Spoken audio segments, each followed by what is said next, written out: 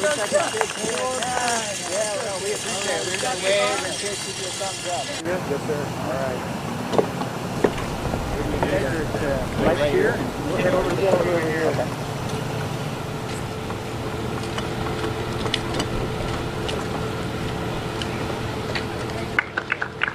You want us?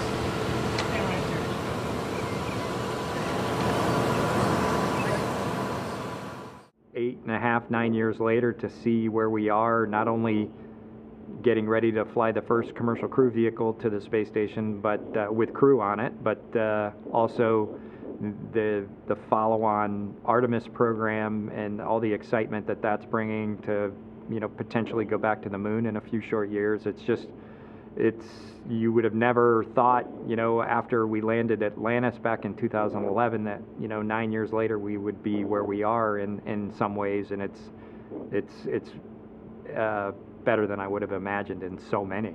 It's, it's really interesting to try to, to think about the, the role that we'll play in history as we go forward. But I think for both Doug and I, and I think we've, we've said this uh, a lot of times, is that we're going to focus on the, our role in history kind of after we've uh, successfully accomplished the mission. I think uh, there are just so many technical factors and, and things that we need to focus on to make sure that we pull this off, that uh, our place in, in history or you know, even trying to put our names in the same sentences as uh, as the folks who uh, have come before us is uh, it, it, seems premature until until we've until we've pulled it off.